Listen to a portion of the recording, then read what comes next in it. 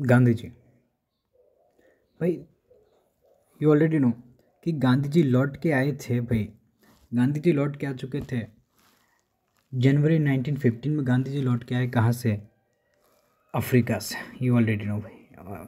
ये कहाँ से आ चुके थे? अफ्रीका से आ चुके थे।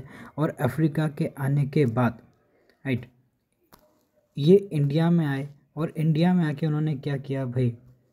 बहुत बड़े लेवल पे प्रोटेस्ट किया।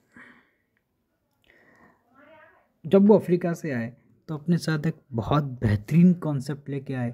उस कॉन्सेप्ट को कहा गया सत्याग्रह मूवमेंट और इस कॉन्सेप्ट में बेसिकली ये था कि सत्य की राह पे चलना, ठीक है, वो भी विदाउट वायलेंस नॉन वायलेंस के साथ। और आपको पता है कि भाई दिस इज़ द टॉपिक यहाँ से मैप से भी बहुत इंपॉर्टेंट चीज़ें पूछी जाती हैं।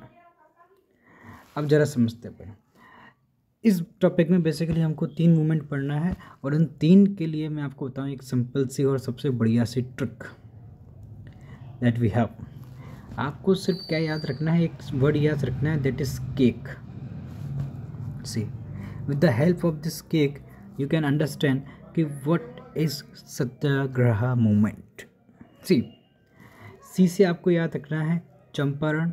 ए से आपको याद रखना है, अहमदाबाद. खे से के से आपको याद रखना है? खेड़ा और ई का मतलब होता है एमपीटी और एमपीटी मतलब होता है खाली।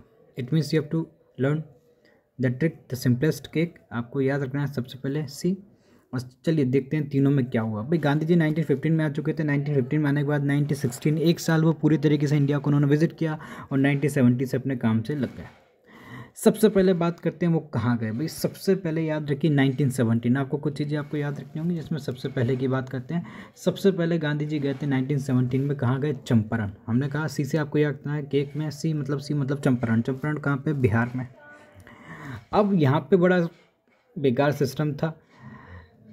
इंडिगो प्लांटेशन वर्कर्स को फोर्स किया जाता था टू ग्रो इंडिगो प्लांट और हम जानते हैं कि इंडिगो प्लांट लगाते हैं तो सॉइल की फर्टिलिटी बहुत स्पीड के साथ ख़त्म हो जाती है।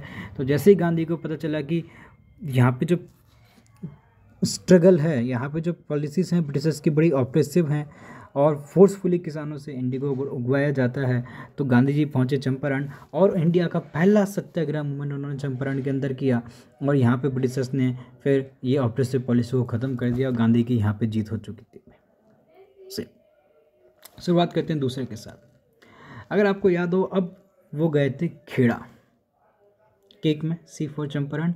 अब के पे आ जाते हैं सीधा। 1918 में गांधी जी गए Kheda. Kheda as a part of Gujarat अब यहाँ पे आपको पता है कि खेड़ा के अंदर बहुत हाई लेवल पे क्या होता था? मीन्स बिकॉज़ खेड़ा बहुत ज़्यादा टैक्सेस पीजेंट से लिया जाता था। You know the meaning of peasant which is farmer farmer से बहुत ज़्यादा टैक्सेस कलेक्ट किया जाता था। किसके द्वारा किया जाता था? भाई ब्रिटिशर्स के द्वारा। लेकिन उस समय क्या हुआ? 1918 में गुजरात के अंदर एक बीमारी फैली, जिससे क्या हो गया? क्रॉप फेल हो गया पूरी तरीके से।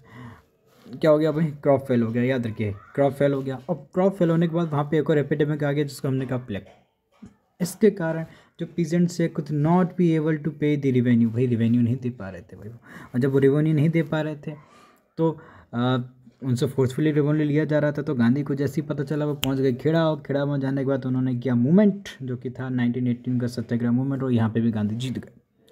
शुरुआत करते हैं तीसरे के साथ। अब गांधी जी पहुँच चुके थे कहाँ पे? अहमदाबाद। और अहमदाबाद वो पहुँचे थे किस वो कब पहुँचे थे? नाइनटीन एटीन में। Again you need to understand यहाँ पे गांधी जी पहुँचे अहमदाबाद। और याद रखिए, ये वन मार्क का बहुत इंपॉर्टेंट क्वेश्चन हमारे लिए प्लस तीन नंबर के ये क्वेश्चन तो हैं ही हैं। नाइनटीन नाइनटीन एटीन में गांधी पहुँचे अहमदाबाद। अहमदाबाद में क्या था कि भाई कॉटन मिल आप जानते हो बहुत सारी कॉटन इंडस्ट्रीज़ हैं अहमदाबाद, गुजरात के अंदर। और वहाँ पे वर्कर्स की कंडीशन बड़ी बेकार थी। काम उनसे बहुत ज़्यादा कराया जाता था, पैसा उनको बिल्कुल नहीं दिया जाता था, बहुत कम पैसा उनको दिया जाता था, कोई सैनिटेशन कोई हेल्थ फैसिलिटीज़ वहाँ पर नहीं थी। तो गांधी ने इन लोगों के लिए भी क्या किया? सत्याग्रह मूवमेंट किया और अल्टीमेटली ये लोग जीत गए। तो आई होप कि आपको तीनों सत्याग्रह मूवमेंट बहुत बढ़िया तरीके से समझ में आ गए हों।